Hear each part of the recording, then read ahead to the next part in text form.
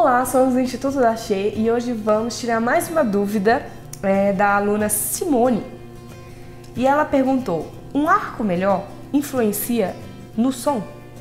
Então, Simone, é, realmente ele influencia bastante no som.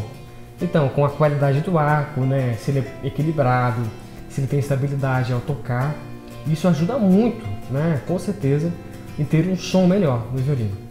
E quando você comprar um arco, então você deve verificar se ele, se ele é um bom arco, se ele está reto, se não está torto, né? Ver se a crina está bem ajustada. É, então, se o verniz do arco também está bem, é, está intacto, né? Então, essas são as dicas que eu dou. Realmente influencia bastante um arco de qualidade. Muito obrigado, até a próxima. Tchau!